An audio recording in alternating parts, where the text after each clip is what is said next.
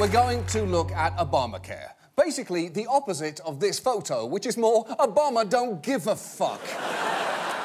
Two weeks ago, we devoted around 20 minutes to Republicans' efforts to repeal and replace that bill. And the reason we have to talk about it again tonight is this. Breaking news overnight.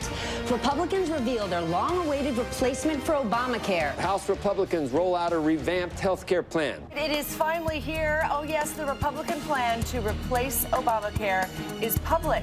This is the American Health Care Act.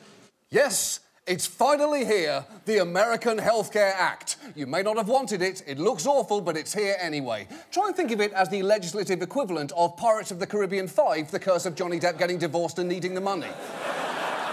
and as will be the case with that movie, the early reviews of this thing have been rough. This thing is probably dead on arrival. Conservatives hate their bill. I promise you. Obamacare Light dead on arrival. It seems dead on arrival. It's dead on arrival. They're calling it a stinking pile of garbage. They're well, calling that it was dead one. on, that was they're one. calling it dead on arrival. Yes, much like the life behind Melania Trump's eyes. The AHCA looked dead by the time it was introduced in Washington. And there is no doubt the bill got enemies quickly. The American Medical Association, the American Hospital Association, the American Nurses Association, and the AARP all immediately came out against it. And even people you would presume would be happy about the repeal were not exactly thrilled. Let me show you what was the front page of Breitbart this morning. FreedomWorks opposes Speaker Ryan's Obamacare 2.0 plan. And I don't think, Selina, they mean that in a nice way. Yeah, I don't think they do either. I'm pretty sure they mean it in the sense of Ryan is a beta male snowflake who needs to save space for his conservative bill kind of way.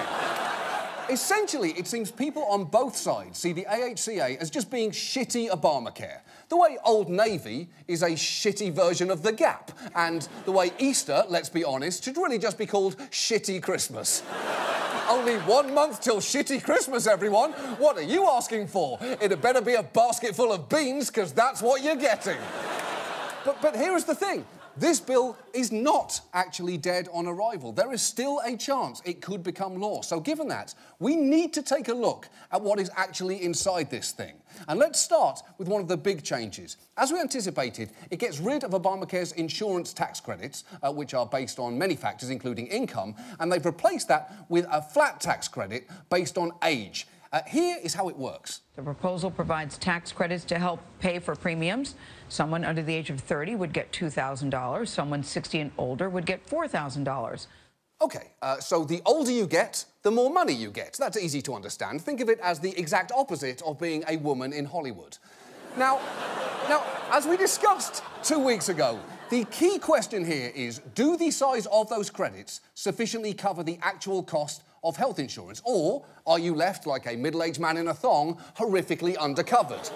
and to help answer that question, I'm sorry, can, we just take that down? Thank you, that's much better. Uh, to help answer that question, the Kaiser Family Foundation uh, made a tool showing you how you might be impacted by this new bill uh, based on your age, income, and location. It's, it's like a choose your own adventure game for a very specific type of child. If your kid likes Caillou, he will love this interactive map of tax credits from the Kaiser Family Foundation.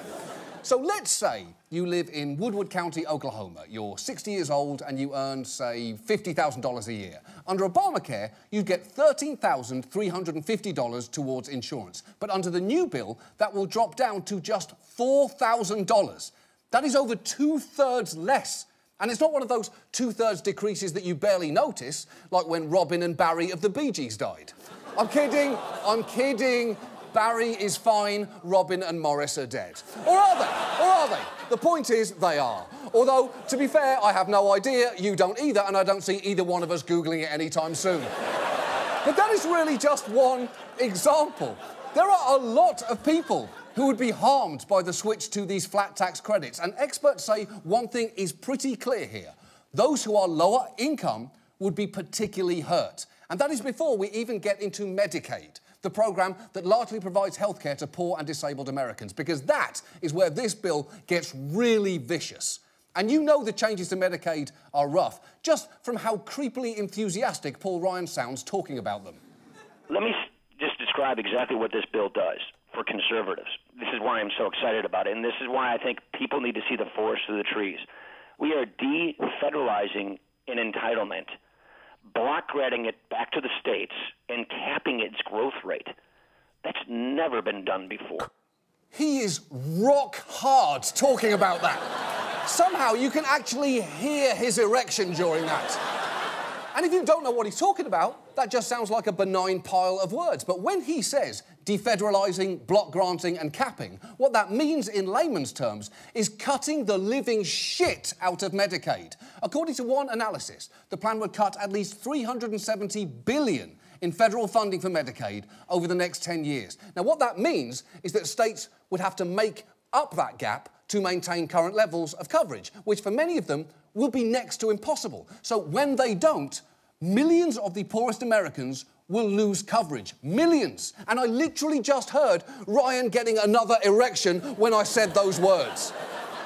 And when you combine that with the insufficient tax credits, an estimated 6 to 15 million people are projected to lose insurance. But to hear Republicans like Jason Chaffetz tell it, there is an easy solution.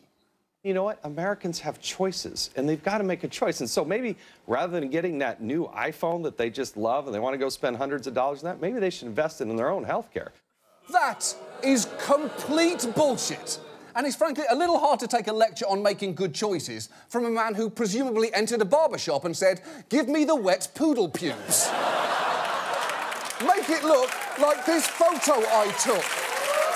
The truth is, if insurance cost as much as an iPhone, we wouldn't even be having this debate. People are going to be hurt by this bill. And those hit the hardest, who stand to lose $5,000 or more under the new plan, are, ironically, a group that voted for Trump by a huge margin, which is pretty frustrating. It's like if the people of Pompeii voted for the volcano. oh, I know you get to define your own self interest, but I wish you hadn't voted for that volcano. so, look, if this bill is bad for older Americans, poor Americans, and many Trump supporters, and all these groups oppose it, who exactly is it for? Wealthy Americans are set to get a sizable tax break under the GOP's health care bill, and the ultra wealthy will see an even bigger tax cut. Some of those in the top 1% of incomes will get a tax break of around $33,000. Wow. Those in the top 0.1% would get an average tax cut of about $197,000 under the GOP plan. Wow, indeed. So this plan is literally taking money from the poor and giving it to the very rich. It's essentially a reverse Bernie Sanders, which is actually also the name of a sex act consisting of very aggressive fingering.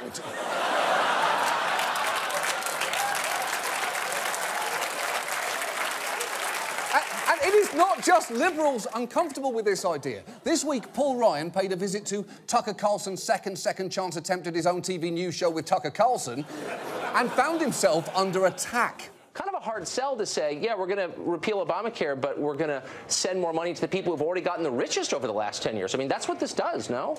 I'm not a leftist, it's just that's true. I'm not a leftist, that's true. Ryan's plan is so harsh, it just caused a 47 year old boy man in a bow tie named Tucker to worry about seeming overly sympathetic to the poor. And, and before you point out that Tucker Carlson isn't wearing a bow tie, he is, just not where you can see it.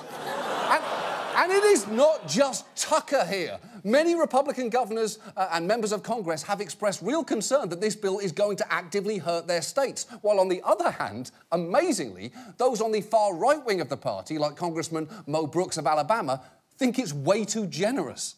This far and away is the biggest welfare program uh, ever sponsored, and quite frankly, it undermines the work ethic. It increases greater reliance on welfare from the federal government. Ultimately, it's going to result in the demise of our country, or at least contribute uh, to our debilitating insolvency and bankruptcy. So, this bill seems almost universally hated in Washington. It is truly the Ted Cruz of healthcare legislation. Fuck you, Ted. Fuck you from everybody. So, so the White House clearly has a tough sales job ahead, and their efforts so far have been less than impressive. Just watch White House press secretary and breakout star of Bridesmaids, Melissa McCarthy, deploy some visual aids. For all of the people who have concerns about this, especially on, on the right, look at the size. This is the Democrats, this is us. There is, I mean, you can't get any clearer in terms of this is government, this is not. First, She's a national treasure. But but second, that is the most aggressively stupid thing I've ever seen. And I just saw Jason Chaffetz suggest paying for health insurance by retroactively not buying an iPhone. And that low page count starts to get actively worrisome when you find out what they spent a decent amount of time in there focusing on. The Republican plan contains a section devoted to making sure people receiving government health care assistance who win the lottery are removed from the program in an orderly fashion. In fact, six pages of this bill is devoted to letting states disenroll high dollar lottery winners. Okay, so a not insignificant percentage of this bill is focused on the urgent matter of what if one poor person suddenly becomes less poor? I'm honestly surprised they didn't also have a section covering what would happen in the event of a Freaky Friday type situation. If the Medicaid recipient, Freaky Fridays, into the body of an individual living above 138% of the federal poverty line, states are obligated to de-enroll recipient until recipient Freaky Fridays back, using wish or magic not otherwise specified, or Freaky Fridays into an eligible body. And yet, and yet, despite all of this, Republican leaders are ferociously trying to jam this bill through. Already, it had been introduced in the House and passed by two committees. And, and yet, there is one person, though, you, you may have noticed I haven't actually mentioned so far, and that is Donald Trump. And the reason he's been largely absent from our story is that he's been largely absent from this story in general. Because putting aside the prop comedy of the star of Mike and Molly, the White House has been pretty hands off with this bill.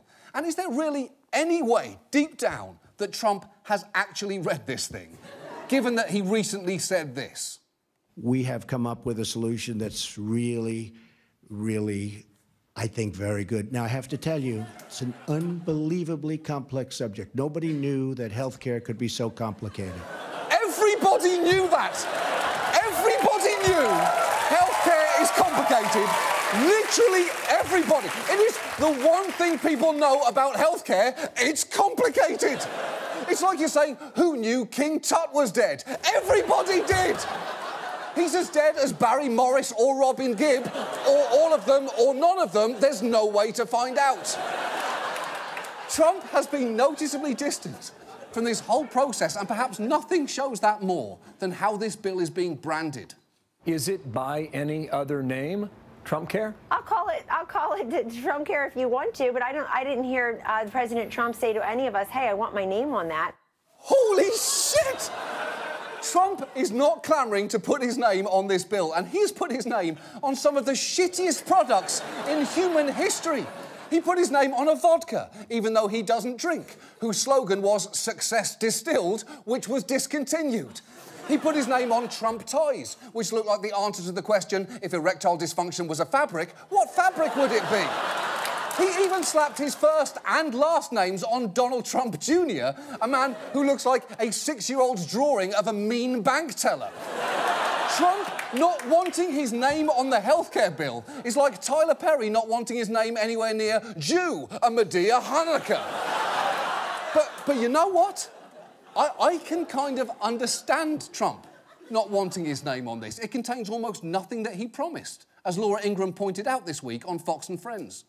The Trumpism of the healthcare reform, the, the Trumpiest parts of it, were The transparency in pricing, competition across state lines, and even on the edges, you know, repealing the McCarran-Ferguson Act. Where is that in this plan? Oh, I'll tell you, it's not in there. He is pushing a healthcare bill that is missing a lot of what he said he wanted, and that is the kind of top shelf deal making that you can read all about in his best selling book, The Art of the. Wait, what was the deal I wanted again? Oh, I forget. Well, anyway, let's talk about how hot my daughter is, right, fellas? Va va boom! And, and Trump, Trump clearly noticed that criticism because shortly after the segment aired, he tweeted, Don't worry, getting rid of state lines, which will promote competition, will be in phase two and three of healthcare rollout. And then, as if to eliminate any doubt as to whether he was watching Fox and Friends, he ended the tweet at Fox and Friends. And, and by the way, it's just, just about that buying across state lines business. Trump and Ryan keep promising that it's just around the corner, but two things you should know. One, it probably won't lower prices. In fact, these three states currently allow it, but not a single out of state insurer has taken them up on the offer, which does actually make sense because if you're an insurer in Massachusetts, it takes a massive amount of time and investment to set up new networks of doctors and hospitals in Maine. And that's assuming Maine even has doctors. I think it's mainly beavers with stethoscopes up there. so, so this, this state line thing is something people love to talk about in theory, but no one really wants to do in practice, like apple picking or shower sex. But, but the even bigger issue is it's almost certainly not going to happen. The state lines bullshit and a lot of other things Trump has promised are not in this bill because they cannot be as Paul Ryan well knows. Interstate shopping across state lines. We love that policy. We think it's critical. But as you well know, you cannot put that in a budget reconciliation bill. Otherwise, it could be filibustered. Exactly. He is right. For procedural reasons, this is being presented as a budget bill, which Republicans can pass with a simple Senate majority. Any non budget related policy change requires 60 votes to beat a filibuster. So that is pretty much a dead end, meaning that this bill is in all likelihood all Trump can get past to replace Obamacare. So it is fucking important everyone understands what is in it and that the something terrific that he promised better coverage, lower costs, no one losing their health insurance well, this bill is not it. The bill Trump is championing will ac- actually increase costs for older, poor Americans and will cause millions of people to lose coverage. Somebody needs to explain this to him. And since he is clearly still watching Fox and Friends. we might actually be able to help here, because you might remember uh, last month we bought time on that show to have our catheter cowboy explain to him what the nuclear triad is. Well, saddle up, partner, for tonight, you ride again. because think about it. Who better to tell Trump what this bill will do than someone who stands to be hurt by it? Someone in his 60s in rural America with an unspecified medical problem that requires constant treatment. Please enjoy this ad, which will air on Fox and Friends in the DC area on Wednesday morning. Attention catheter patients. Hi, me again. I'm a professional cowboy and I use catheters. Been cowboying for 25 years and there's two things I know. I don't like pain when I cath. And healthcare is a complicated business. Everybody knows that. Literally, everybody. Also, if my premiums go up and subsidies go down, I'm going to wind up paying more. That's basic math there, fella. That's like replacing my catheter with a garden hose. I don't want that. I do not like pain when I cath. The point is, if that happens, millions of folks like me might get real angry, which is worth thinking about if you're the sort of person who really likes being popular. You get that, right? Right? You get that. Right? Right? You get that, right?